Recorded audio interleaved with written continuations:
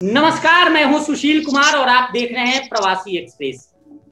Lockdown चल रहा है और जिस तरह से कोरोना लगातार पैर पसार रहा था, उसको देखते हुए सरकार ने लॉकडाउन की घोषणा की थी। लेकिन इन सबके बीच जो सबसे बड़ी समस्या है, वो व्यापारियों के साथ है। क्योंकि उनके खर्चे तो ज्यो के त्यों हैं, लेकिन इनकम बंद हो गया है। और इसमें भी सबसे ज़्यादा मार उन छोटे और मध्यम क्लास के व्यापारियों पर पड़ रही है। इन्हीं मुद्दों को लेकर आखिर सरकार को क्या कुछ करना चाहिए था? इन सभी बातों को लेकर एक एक पहलू पर बात करने के लिए हमारे साथ एक पूरा पैनल मौजूद है जिसमें जो लोग जुड़ रहे हैं सबसे पहले हम स्वागत करेंगे अधिवक्ता हैं धर्मवीर जी और ये जीएसटी भी देखते हैं। धर्मवीर जी आपका स्वागत है। नमस्कार नमस्कार। सोनिया सोनिया मैडम है जो दिल्ली से हैं और ये ब्यूटिशियन है ये भी व्यापारी हैं और बखूबी से इनकी पकड़ है इस मुद्दे पर और ये बखूबी से नज़र रखती हैं। सोनिया जी आपका स्वागत है। नमस्ते सर नमस्ते। और हमारे साथ गुरुग्राम से गुरुग्राम सदर बाज़ार से व्यवसायी हैं धारीवाल साहब। वो जुड़े हैं धारीवाल वस्त्रालय है होलसेलर है गुरुग्राम में। और ये भी पीछे से राजनीतिक रूप से सक्रिय रहे हैं। इनका पूरा परिवार सक्रिय रहा है और व्यापारी भी पुराने व्यापारी हैं। एक एक चीज़ को ये बखूबी से जानते हैं और सदर बाज़ार से हैं। तो ये सभी लोग मौजूद हैं। आप सबका स्वागत है। सबसे पहले शुरुआत करेंगे। वकील साहब, आपसे इस पूरी लॉकडाउन को और समस्याओं को किस रूप में आप देखते हैं?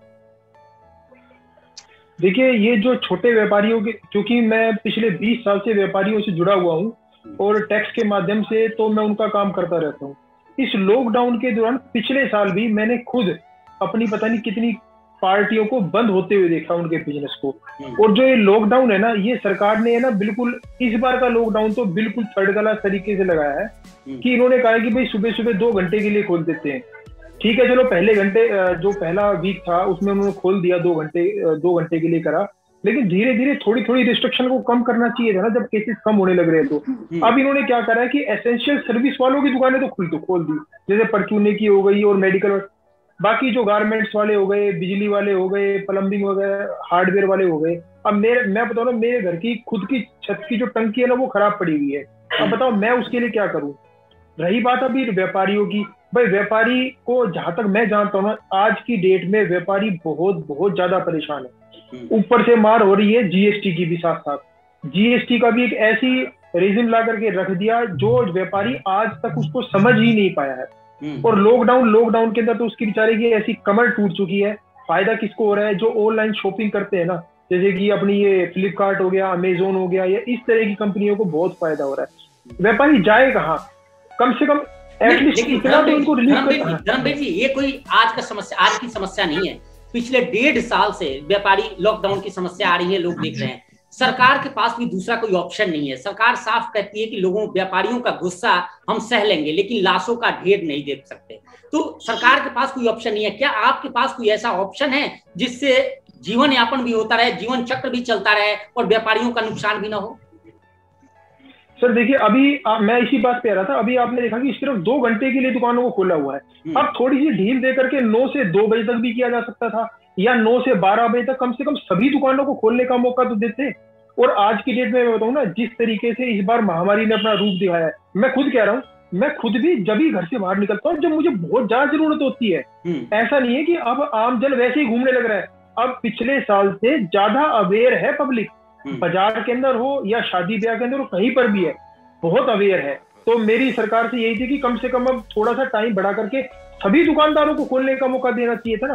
मान लो चार घंटे की दुकान खुलती है। सोनिया जी व्यापारियों की जो समस्या आप तो खुद कोरोना पीड़ित रही हाँ। कोरोना के संघर्ष की वीडियोज़ हम सबने देखी है और दिखाई है आपके। और लेकिन व्यवसाय किस तरह से क्षतिग्रस्त हुआ है और इसका क्या कोई अल्टरनेट था या है? दरअसल मैं यही कहना चाहूँगी देखो प्रॉब्लम तो बहुत पेचीदा है। गवर्नमेंट हम्म। भी सफ़र कर रही है सब लोग सफ़र कर रहे हैं। लेकिन ऐसे में अगर आपकी इनकम ही बंद हो जाए तो आप कैसे सारा कुछ मैनेज करोगे? मुझे ये लगता है कि लोगों में अगर अच्छे से अवेयरनेस की जाए, उन्हें समझाया जाए और लॉकडाउन को जो है, वो थोड़ा कम किया जाए तो चीज़ें संभल सकती हैं। अब लोग भी समझ रहे हैं जैसे जैसे लोग अपने रिश्तेदारों को, अपने संबंधियों को खो रहे हैं तो उन्हें भी समझ में आ रहा है कि कैसे टैकल करना है। देखो, अब टैक्स सारे हमें भरने पड़ते हैं। टैक्स की मेल्स आती हैं एवरी डे पे हमें टैक्स की मेल आती है, हमें टैक्स सारे भरने जब हमारे पास इनकम ही नहीं है तो हम किस तरीके से टैक्स पे कर सकते हैं? हम्म। तो हमें इनकम को भी बढ़ाना ज़रूरी है। ये गवर्नमेंट को थोड़ा सोचने की ज़रूरत है मैं समझ सकती हूँ प्रॉब्लम बहुत ज़्यादा है लेकिन दोनों तरफ़ सोचने की ज़रूरत है। धरीवाल साहब व्यापारियों की मुख्य समस्या क्या है? और इस पूरे लॉकडाउन में क्या कुछ आप लोग झेल रहे हैं? नमस्कार जी। पिछले डेढ़ साल से बहुत ही बुरे क्रिटिकल पोजीशन से निकल रहे हैं जी हम। हम्म। बीच में थोड़ा सा रिवाइव हुआ था ठीक वजह से थोड़े मज़बूत होने की कोशिश की थी तो ये कुदरती जो है इस माहौल ने सब तोड़ दिया हम्म। और ये लॉकडाउन थोड़ा सा अब ज़्यादा लंबा खिंच गया लंबा हम्म। जैसे कि हमें उम्मीद थी कि ये दस तारीख को खुल जाना चाहिए था तो हमने जिनको पेमेंट देनी थी बोला था दस तारीख खुल जाएगी हम आपको पेमेंट दे देंगे क्यों हम सब गुड फेथ पे माल लेके आते हैं जी। फिर दस के बाद हमने ऐसा सर एक हफ़्ता बढ़ गया कोई बात नहीं है। हमने सूरत फ़ोन किया जैसे जिनको पेमेंट अहमदाबाद फ़ोन किया पेमेंट के लिए रिक्वेस्ट की तो सत्रह को ज़रूर खुल जाएगा। हम आशा आशा थी आशावादी हैं और कि मैं खुल जाएगा। तो हमने सब सत्रह के बाद पेमेंट देनी शुरू कर दी फिर बोलेंगे करेंगे करेंगे। हम्म। तो उस हिसाब से हम अब फिर बढ़ गया। तो ऐसा होता है हमारे बड़ा इज़्ज़त का काम है कि हम सोचते हैं पेमेंट टाइम पे देंगे हमारी इज़्ज़त बनी रहेगी। हम्म। हम व्यापार से टूटना से हम बिल्कुल टूट जाएँगे जी। हमें हम्म। पूरी आशा थी कि सत्रह तारीख को लॉकडाउन खुल जाएगा। हम नहीं कहते पूरा खोल दो आप लेकिन कम से कम नौ से बारह नौ से वकील साहब ने कहा कि नौ से बारह या नौ से दो ये थोड़ी ना हमारे को भी हमें भी देनदारी है हमारे बच्चों की फ़ीस भी नहीं गई है बहुत देनदारी है ईएमआई भी है। अभी पिछले साल हम बहुत टूट गए थे जी। हमने गोल्ड लोन लेकर के हमने काम दोबारा शुरू करा। हमने सारा घर का गोल्ड लोन रखा ये I I F L company है उसमें। हम्म। उसके बाद हमने जैसे दोबारा से काम उठाया तो चलो भाई मज़बूत हो जाएँगे मज़बूत हो जाएँगे। वो बार बार मेल आ रहे हैं हाँ जी पेमेंट जमा करो पेमेंट जमा करो। और लड़कों में हमारे सत्रह अठारह काम करते हैं उनको पेमेंट नहीं दे पा रहे जी। कोई पाँच हज़ार मांग रहा है कोई दो हज़ार मांग रहा है कोई सब दे दे सब घर चले गए वापस। अब उनको वापस लाने में बड़ा बड़ा उनको और पैसे देने पड़ेंगे। पैसे है नहीं। हमारे दिन में मतलब की थोड़ी सेल होती थी उम्मीद होती चल शाम को दे देंगे चल शाम को दे देंगे। बिल्कुल स्टार्ट डाउन है जी। पिछले हफ़्ते एक बंदा जो कफन चाहिए मेरे को कफन ढाई मीटर कपड़ा चाहिए व्हाइट मेरे सर हम नहीं खोल नहीं सकते हम बिल्कुल नहीं खोल सकते। मेरे सर ढाई मीटर कपड़ा तो कफन के लिए मांग रहे वो भी नहीं सकते। ढाई मीटर कपड़ा नहीं परसों एक लड़की की शादी थी देवीलाल कॉलोनी देवीलाल कॉलोनी में। वो जानकार ने फ़ोन कराया कि हम चुन्नी चुन्नी उठा करके ला रहे हैं जी लड़की को। हमें कोई लहंगा नहीं सिलवाना हमें कोई कपड़े नहीं लेने कोट पैंट भी नहीं लेना। हम्म। हमें एक चुन्नी दे दो। जो पाँच सौ सात सौ रुपए की चुन्नी आती है दुल्हे दुल्हन की। दुल्हन के साथ चुन्नी मांगते रहे। हम दे नहीं पाए। हमें बड़ी गिलो लगी यार हम एक चुन्नी नहीं दे सकते लड़की को हम ऐसे ही दे देते। तो भाजी हमारे हमने क्या बुरा करा? हमने सब हमारा चेहरा देखो हम कितने दैनिक स्थिति में जी रहे हैं। हम किसे कहें किससे जाकर रो, रोए हम? हम नहीं रो नहीं सकते हमारा कोई नहीं खड़ा। हम व्यापारी साथ कोई नहीं खड़ा जी। और जब बुरा कष्ट आता है बाज़ार के ऊपर कष्ट आता है सरकार को वो डोनेट करते हैं गौशाला वाले आ जाएँगे कोई आ जाएगा सब पर्ची दुकानों पर्ची काटते हैं। हम किसी को मना नहीं कर सकते। अगर गली का थोड़ा सा ऊँचा भी आवाज़ बोलते दुकानदार डरता है यार मुझे सुबह नौ बजे जाना है रात को नौ बजे जाना है। तो इसलिए मुझे हमारा कोई नहीं है हमारा माँ बाप कोई नहीं है जी। हम तो अंदर से बिल्कुल टूट गए। हम, हमारा चेहरा देखो आप कैसा है। हम क्या कर रहे हैं? ना मतलब कि बिल्कुल ही बस हमारा मन नहीं कर रहा काम करें, कैसे करें? अरे, हमें थोड़ी राहत देते। परचून वाले हमारे भाई है, दुकानदार भाई है, हमें उनसे दो, वो नहीं है। उनको भी दो थोड़ा सा। उनको नौ से बारह कर दो, हमारे से नौ से दो कर दो। हफ़्ते में तीन दिन कर दो मतलब शुरू में। हम ये नहीं करें कि बिल्कुल कर दो, कि बिल्कुल खोल दो। हम सरकार के साथ हैं, देश के साथ हैं। कोरोना कष्ट सबके लिए सर ये। हमें बड़ा दुख इस बात का। तो हम आपके साथ हैं सरकार हमें थोड़ा सहायता दे थोड़ा सपोर्ट करे थोड़ा सा टाइम हमें दे कि हाँ जी तो आपको नौ से दो बजे तक दुकान खुलेगी या शाम को ऐसे ऐसे खुलेगी। खुल जानी चाहिए थी सर ये। केस आपके आपने बड़ी सराहना की मैंने पहले प्रोग्राम में देखा था आपका कि जैसे अफसर ने सरकार की बड़ाई भी करी हाँ जी केस में कंट्रोल किया सरकार ने। हम बड़े खुश हैं सरकार ने कंट्रोल किया हमारे भी सब योगदान है। अखबार लोग बाग बहुत खुद ही दुकानें बंद रख रहे हैं। पिछली बार डंडे से बंद करवा रहे थे। अब लोग खुद डर के मारे लोगों ने सेल्फ लॉकडाउन लगाया है। जी।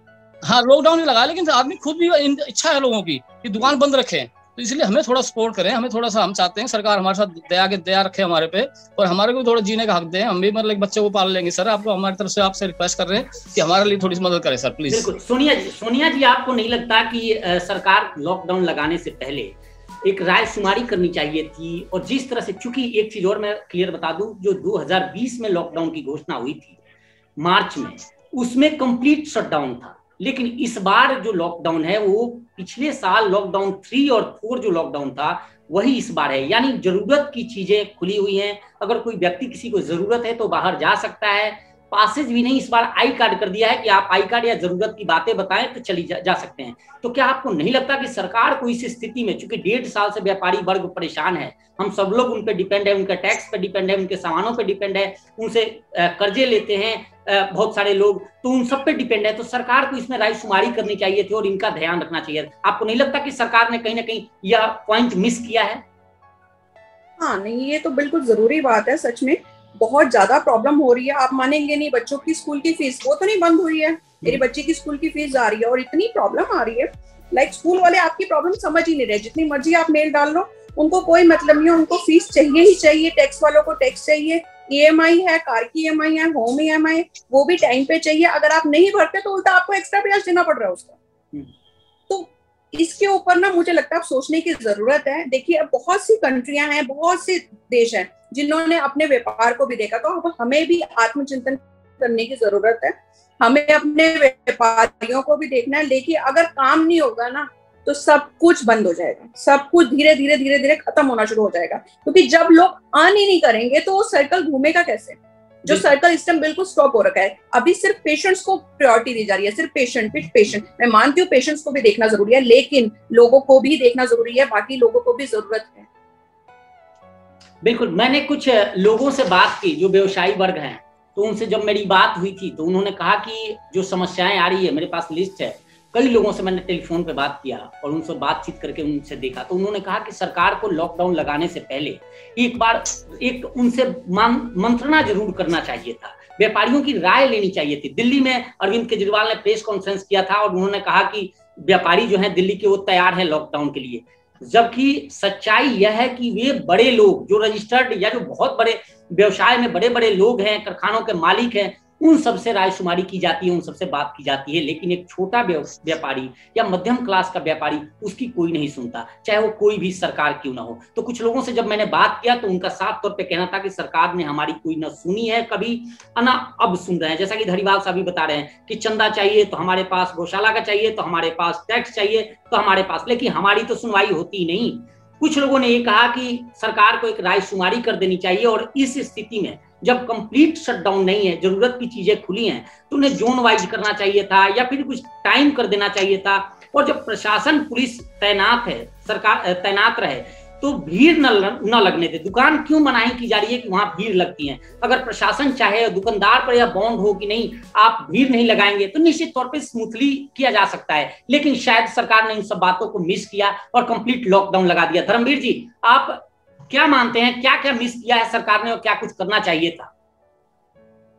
देखिए व्यापारी की जहाँ तक देखा जाए ना तो अभी अभी जो आपने कहा ना कि जो कंपनियाँ हैं वो कंपनियाँ खुली हैं। हम्म। जो मैन्युफैक्चरिंग यूनिट है आज भी खुली हुई है जिसके अंदर जो लेबर क्लास की वो है, काम करने के लिए जा रहे हैं। रही बात सदर बाज़ार के, देखिए सदर बाज़ार जो है ना, गुड़गांव की धड़कन है। जब तक वहाँ काम नहीं होगा ना, समझ लो पूरे के पूरे गुड़गांव की सारी अर्थव्यवस्था चौपट है। अभी धारीवाल जी ने बिल्कुल सही सुझाव दिया था, मैं बिल्कुल सहमत हूँ कि कम से कम अल्टरनेट डेज़ तो उनको दे देते कि भाई आज के दिन नहीं तो कल आपकी पूरी, या हफ़्ते में तीन दिन कहे कि भाई पूरा दुकान, पूरा बाज़ार खुल सकता है नौ से लेकर के दो बजे तक या चार बजे तक। और रही बात अवेयरनेस की कोरोना की मैं फिर से एक बार ये बात कह रहा हूँ कि आज की डेट में आम जनता खुद अवेयर है कि हम्म। हमें क्या करना है। लेकिन इस बात को सरकार नहीं समझ रही। सरकार को देखो सरकार का टैक्स तो नहीं रुक रहा। सरकार का टैक्स तो जाएगा ही जाएगा टाइम के ऊपर। जीएसटी की रिटने हैं उनको चाहिए ही चाहिए। वो कहाँ रुक रही है? वो भी नहीं रुक रही। और अगर जरा सी भी आपने गलती कर दी ना तुरंत मैं सही बताऊँ मेरे जीएसटी के कई व्यापारियों के नंबर बंद कर रखे हैं। अब नंबर बंद तो कर दिए उन्होंने और बेवजह बंद कर दिए, लेकिन अब घर से बाहर नहीं जा सकते व्यापारी तो वो स्टार्ट भी कैसे कराए? अब उसकी लग रही है पेनल्टी और जिम्मेदार है डिपार्टमेंट लेकिन एक तरह से जो तानाशाही रवैया जो होता है ना, वो आज की डेट में अपनाया जा रहा है व्यापारियों के ऊपर। हर तरफ़ से, हर जगह से सिर्फ़ और सिर्फ़ व्यापारी को दवा देखिए, मैं कोई व्यापारी नहीं हूँ, ना मेरी कोई दुकान है, लेकिन मेरा जो काम धंधा है ना, उनसे बहुत ज़्यादा मेरा हंड्रेड परसेंट ही उनसे लिंक है। तो जब उनके जब काम बंद होते हैं ना तो बड़ा दुख होता है। और पिछले डेढ़ साल से डेढ़ साल से जो अप डाउन चल रहे हैं अभी तो स्मूथ हुआ भी नहीं था फिर से लॉकडाउन लगा दिया। और देखो स्ट्रेटेजी देखो इनको पहले उन्होंने एक हफ़्ते का लगाया। ये कन्फर्म था कि ये धीरे धीरे लेकिन धर्मवीर जी इसका समाधान क्या है? ये तो सवाल सबको पता है कि सरकार ने इस तरह किया है। समाधान क्या है? क्या कुछ करना चाहिए? आखिर व्यापारी वर्ग क्यों नहीं इसके खिलाफ कुछ करता है? आप लोग जो व्यापारियों के हिमायती हैं हिमायतदार हैं आप लोग क्यों नहीं कुछ करते हैं? सर देखिए जो वकील लोबी एडवोकेट लोबी होती है ना वो हर बार व्यापारियों के लिए हमेशा खड़ी रही है। लेकिन धारीवाल जी भी और मैं पूरी बाज़ार की यूनिट को कहना चाहता हूँ कि व्यापारी है ना वास्तव में डरा हुआ है वो खुलकर के सामने नहीं आता। हम्म। उससे ज़्यादा हम एडवोकेट उनके लिए एडवोकेसी करते हैं। लेकिन वो जब उसको खुद को प्रॉब्लम नहीं नहीं धारीवाल सही कह रहा हूँ। जब उनको कोई प्रॉब्लम आती है ना तो एडवोकेट जाते और अच्छा मैं मीटिंग में गया हूँ। संजीव जी थे मैं सीएम वहाँ पे गया था चंडीगढ़ में। पता क्या कह रहा वकील साहब आपको क्या परेशानी है? जब व्यापारी खुद उठ करके नहीं आ रहा। ये हमें संजीव ने वो दिया था, उसका वो था चीफ सेक्रेटरी था वो उसका, उसने दिया था। रही बात इसकी कि सरकार को एटलीस्ट अल्टरनेट तो कर देना चाहिए कि एक दिन छोड़ करके एक दिन, नहीं तो नौ से लेकर के दो बजे तक खोले, फिर नौ से छह कर दे, फिर नौ से आठ कर दे। इस तरीके से धीरे धीरे बाज़ार को खोलना चाहिए। धरीवाल साहब, आप तो राजनीतिक रसूख के व्यक्ति हो रसूखदार हो। आप लोग आखिर इन समस्याओं को लेकर, चूँकि एक दिन की ये समस्या नहीं है और जो कुछ आप बता रहे थे कि कितनी उलझने हैं व्यापारियों के लिए तो आप लोग आवाज़ क्यों नहीं बुलंद करते? अपने राजनीतिक रसूखों का इस्तेमाल क्यों नहीं करते? सर आवाज़ बुलंद करें तो उम्मीद नहीं है कि किससे हम करें हम्म। किसको साथ लें। अगर हम आवाज़ बुलंद करने की कोशिश करेंगे उठने की कोशिश करेंगे तो सोचेंगे सरकार के खिलाफ है ये। हम्म। ये सही कोरोना को लाना चाहते हैं ये। इनको देश देश से प्यार नहीं है इनको मतलब बीमारी से प्यार है। तो हम तो खुद सोच रहे हैं अगर बाहर निकलते हैं हमें कहेंगे तो चलो भाई धारा एक चालीस के हिसाब से लॉकडाउन का उल्लंघन के हिसाब से बंद कर देंगे अंदर हमारे को। तो ये तो है ही नहीं ना, सर। अब कैसे निकले? हम कोई हमारे साथ नहीं है जी। हमारे कोई सपोर्ट करने वाला भी नहीं है। सरकार से उम्मीद करते थे जो आप वकील साहब बता रहे हैं, धर्मवीर जी वकील साहब बताया है कि इन्होंने भी इतना करना था। ये तो दस तारीख को करना था, सर। भी तीन दिन, हफ़्ते में तीन दिन नौ से बारह तक या दो, नौ से दो तक। सत्रह तक वो इनको कम्प्लीटली खोलना था। कंप्लीट नहीं भी खोलते तो लेकिन हाँ नौ से पाँच कर देते। अब इससे जो सत्रह चौबीस आ रही खा रही है तो अब रूटीन पे आ गया था बिल्कुल स्मूथ हो गया था, माहौल ठीक हो गया था। और हम देश के साथ हैं, सरकार के साथ हैं मतलब कि हरियाणा सरकार दिल्ली सबके साथ है, जी। हम बीमारी के खिलाफ हैं। दुकानदार को आप कहो सही एक बारी कि हाँ जी, आपके दुकान पे तीन आदमी ज़्यादा नहीं खड़े होंगे। आपके स्टाफ आठ है तो उसमें पाँच दो लेकर आने हैं। हम तो खुद ही काम कर लेंगे लड़कों को तनखा देंगे बेटा दो तो सुबह आ जाओ, दो शाम को आ जाओ, ऐसे कर लो। हमारी दुकान धूल मिट्टी चरित में दिखा नहीं सकता इतनी धूल है कि दिखा नहीं सकते कि सफ़ाई के लिए नहीं बुला सकते। स्टर खोलते एकदम आ जाएँगे, क्यों? दुकान खोल रखी है? तो बहुत ही बड़ी दिक्कत है, किससे बात करें हम? आप बाहर निकल के दिखा दो एक बारी। व्यापारियों कहना आसान है व्यापारी के साथ कोई नहीं है जी। वोट के टाइम तो सब व्यापारी साथ बाज़ार में जब जुलूस निकालेंगे रैली निकालेंगे अपना वो व्यापारी के साथ व्यापारी तो है। व्यापारी के साथ व्यापारी तो जुड़ा हुआ है। सरकार व्यापारियों से और आम जनता से है। सरकार हाँ जो है ना व्यापारी और आम जनता से है।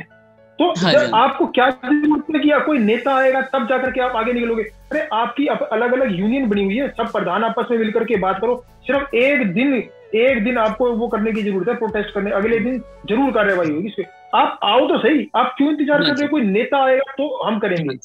हाँ जी। हाँ जी ठीक है सर आपने सुझाव दिया तो इस बारे में इसमें थोड़ा सा बात करेंगे। और जैसे आगे आप जैसे कहोगे हम सबकी सलाह लेकर के चल कोशिश करेंगे। और सरकार से आपकी आप सब करो हमारे लिए कि थोड़ी बहुत टाइम दे दुकान का भी ज़्यादा नहीं तो थोड़ा थोड़ा जैसे भी आप कह रहे हो उस हिसाब से हम तो सरकार के साथ है। हम तो बीमारी के खिलाफ हैं जी। हम चाहते हैं कि हमारी दुकान पे एक एक आदमी करके आए एक एक आदमी चला जाए फिर दूसरा आदमी आए।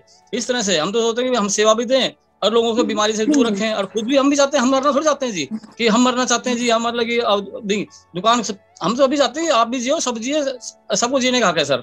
इसलिए मैं तो आपसे मिल करके आप सरकार तक ये बात पहुंचाओ ना कि कम से कम दो से नौ से लेकर चार बजे तक तो सबको खोल लेते ये तो आप हाँ व्यापारी मिल करके कर सकते हो सब कुछ। हाँ जी हाँ जी। ठीक है सर आपके अपने बात करेंगे। हाँ जी। हाँ जी हाँ जी। हाँ जी हाँ जी। जी आप आप दिल्ली से हैं आप भी ब्यूटिशियन हैं एक। आपका व्यवसाय भी सबसे ज़्यादा प्रभावित है इसलिए प्रभावित है कि ये सीज़न जो चल रहा है शादियों का चल रहा है और वैसे में आप लोग घर बैठे हैं। क्या कुछ उम्मीद किया था आपने इस सीज़न को लेकर चूँकि पिछली साल जिस तरह से आपका सीज़न बिल्कुल कंप्लीट एडवर्स में चला गया था खराब हो गया था सीज़न बिल्कुल नुकसान में था बिज़नेस तो इस साल कुछ उम्मीदें होंगी पिछले कर्जे होंगे कि इस साल अच्छा चलेगा तो हम कर देंगे और लॉकडाउन लग गया। कितना सही कह रहे हैं आप हाँ बिल्कुल आप सही कह रहे हैं क्योंकि पिछले सीज़न आपको मैं अगर बोलूँ तो ज़ीरो इनकम थी।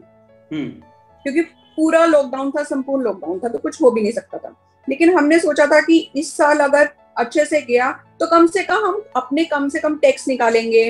अपने प्रोडक्ट्स की वैल्यूज़ निकालेंगे। कम से कम कुछ तो मैनेज होगा घर के खर्चे निकालेंगे लेकिन ऐसा भी कुछ नहीं हो पाया। दरअसल क्या है कि मुझे लगता है लोगों को यूनिटी बनाने की ज़रूरत है। हम्म। जिस दिन अगर यूनिटी बन जाती है अगर लोग यूनिटी से काम करना शुरू करते हैं और यूनिटी बना लेते हैं तो सरकार ज़रूर सुनेगी। हम कोई कुछ गलत नहीं बोल रहे सिर्फ़ इतना बोल रहे हैं कि देखिए आप खुद जानते हो कि जो मिडिल क्लास लोग हैं वो ज़्यादा हैं। और हम लोगों से ही भरपूर मात्रा में अच्छे से टैक्स वसूला जाता है। जब टैक्स वसूला जाता है तो हमारी सुनवाई क्यों नहीं सुनवाई क्यों नहीं होगी? सुना भी जाएगा। हम्म। बस प्रॉब्लम क्या आ रही है कि लोग ना खड़े नहीं हो पा रहे। हम्म। कोई कह रहा है कि मैं ये करूँगा तो पता नहीं क्या हो जाएगा मैं बाहर निकलूँगा पता नहीं मुझे पुलिस वाले क्या कहेंगे कोई मुझे पकड़ के ना ले जाए।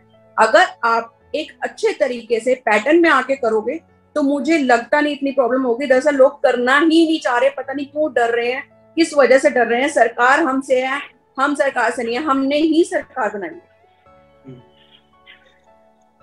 तो ज़रूरत है अब थोड़ा सा अपने माइंड को स्ट्रॉन्ग करके आगे बढ़ने की तभी बिज़नेस बच बच पाएगा। अदरवाइज़ तो मुझे लगता है बहुत प्रॉब्लम होने चौबीस तारीख को लेकर धरीवाल साहब क्या जहन में है? क्या आपको लग रहा है कि सरकार आप अगर सरकार से आप कुछ कहना चाहें चौबीस तारीख तक जो लॉकडाउन है चौबीस तारीख के बाद के लिए तो क्या कुछ कहेंगे? अगर एक मिनट में समझा सके। आशावादी है जी पूरा। हमें उम्मीद है कि सरकार दूर रहम करेगी। हमारे जैसे छोटे दुकानदारों पर रहम करेगी। सबकी जो जो व्यापारी के पास एम्प्लॉज है जो काम कर रहे हैं आठ हज़ार में दस हज़ार में पंद्रह हज़ार में जो सैलरी में काम कर रहे हैं उनका भी पेट पर लेगा। वो भी जो गाँव से लेकर उनको वापस लेकर आने की कोशिश करेंगे। फिर हिम्मत दिखाएँगे फिर दोबारा उठाएँगे फिर उठेंगे जी। लेकिन हमें थोड़ा सा तो जो मौका दें कि हाँ ठीक है जैसे हमारे जैसे व्यापारी भाइयों के परसून के हैं दवाइयों की दुकानें हैं। राहत पैकेज का भी ऐलान था। क्या इस बार भी आप लोग उम्मीद कर रहे हैं कि लॉकडाउन में कुछ ऐसे राहत पैकेजेस या फिर ईएमआई से राहत हमें नहीं हमें तो अपने अपने काम पे अपने कर्म पे विश्वास है जी। हमें राहत पैकेज से पैकेज से कोई मतलब नहीं है। हम तो चाहते हैं हमें खुद इतना मौका दे दिया जाए। हम खुद काम कर लेंगे जी। हमें सरकार से रेमो करम पे नहीं है। सरकार हमें थोड़ी सी राहत दे दे बस टाइम की। दुकान खोलने की राहत दे दे। दुकान खोलने की इजाज़त दे दे। चाहे कंडीशन हाँ, बस ये तो हमें कभी सरकार ने कोई राहत देते नहीं है किसान तो मिल जाएगा और वो मिल जाएगा और और सब मिल हो जाएगा। लेकिन वैसे ये है कि व्यापारी को कोई नहीं लेकिन व्यापारी खुद सक्षम है। व्यापारी सवेरे छह बजे से लेकर रात को बारह बजे तक काम करता है। मतलब हम सवेरे छह बजे शुरू होते हैं रात बारह बजे तक सोते नहीं है जी। हमारे तो स्ट्रगल कोई कर ही नहीं सकता। ये कहने वाली बात है व्यापारी व्यापारी लोग दुश्मन की नज़र से देखते हैं कि ये लूट रहे हैं लूट नहीं रहे हम तो भाग से पैसे मांग के दे रहे हैं हाँ भैया इतने दे देंगे इतने है आगे देखते हैं हाँ जी। सुशील जी ये राहत पैकेज जो है ना ये सरकार के लिए है आम जनता के लिए नहीं है। हम्म। पिछली बार के राहत पैकेज जो डिक्लेयर किया था उसका मेरे को एक रुपए का भी हिसाब कहीं दे दो अगर कहीं लगा हो। पिछले एक साल में कोई तो आप तो अधिवक्ता है डायरेक्ट क्यों नहीं पीआईएल फ़ाइल करते हैं? सरकार ऐसा है पीआईएल पीआईएल फ़ाइल भी करेंगे और लेकिन वो तो फ़िलहाल जो सोशल मीडिया के माध्यम से तो बहुत ज़्यादा करते रहते हैं। हालाँकि मेरे को लग रहा है कि अनिल विज जी तो कम से कम मेरे से परेशान हो चुके होंगे फ़िलहाल। हम्म। सही बता रहा हूँ मैं आपको। मेरे को लग रहा है ब्लॉक ना कर दे कहीं मुझे वो। जी। सही बात बोल रहे हैं बिल्कुल भी हमें राहत पैकेज नहीं चाहिए हमें काम करने दो काम करने की ज़रूरत है। हम अपने आप कमा लेंगे कमा अपने आप लेंगे रोटेशन तो होने दो रोटेशन हमें टाइमिंग दे दो नौ बजे दुकान खोलने दो फ़िलहाल दो कुछ दिन हमें दो दो बजे तक या चार बजे तक का टाइम दे दो और अगले वीक से हमारी रूटीन मतलब सीधा नौ से लेके छह बजे तक दे दो। ऐसे बीमारी सब ठीक हो जाएगी बीमारी सब ठीक हो जाएगा सरकार की मदद करेंगे हम मदद सरकार हमारी मदद करे तो हमारा ये चाहता है कि हमें कोई भी किसी के धर्म पे नहीं है कि हम अपने खुद काम करेंगे। हम हम इतने स्ट्रगल करने वाले आदमी हैं, दुकानदार तो बहुत ही मेहनती होता है। अब कहते हैं और और मेहनती व्यापारी मेहनती है। सवेरे कितना टाइम लगाता है? सारा दिन सवेरे दुकान पे खोलता है, नौ बजे, रात को बारह, दस, ग्यारह बज जाते हैं, फिर हिसाब लगाता है किसी पेमेंट देनी है, रात को पेमेंट लगाते हैं हम। कि रात को ग्यारह बजे बाद पेमेंट लगाते हैं अहमदाबाद पेमेंट जो लगाते रात के बाद लगाते हैं पेमेंट सवेरे छह बजे फिर लगाते हैं, बेटा किसी पेमेंट देनी इसकी पेमेंट देनी कैसे करें, कैसे ना करें। हर टाइम चिंता रहती है, लेकिन हमारे वो थोड़ा सा हम हाथ जोड़ के प्रार्थना करते हैं सरकार से, और आपके द्वारा आप हमारे को आगे तक बढ़ाए पहुंचाएँ। वकील साहब हैं, ज्ञाता हैं हम इनका बड़ा खैर मध्यम करते हैं, और हमारी बात को आगे तक पहुंचाएँ, और हमारे लिए राहत पैसे की ना दे हमें, कुछ भी ना दे। टैक्स भी पूरा देंगे हम। हर तरह से जीएसटी टाइम पे भर रहे हैं सर बिल्कुल हर चीज़ हमारी, हर चीज़ लिखत में है, कोई गलत काम नहीं कर रहे हम।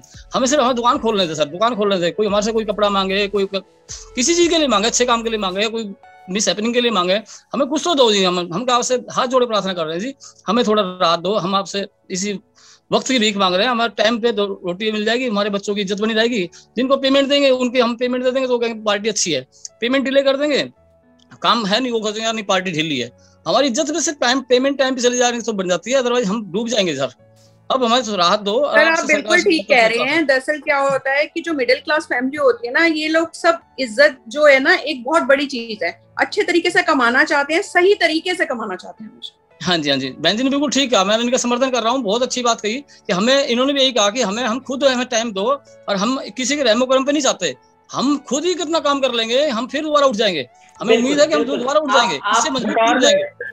हाँ हाँ कबूतर होता है ना कबूतर के पंख बाँध दिए और सरकार हम्म। के लिए उड़ो। हाँ जी ये हालात है डेट से। हाँ जी हाँ जी।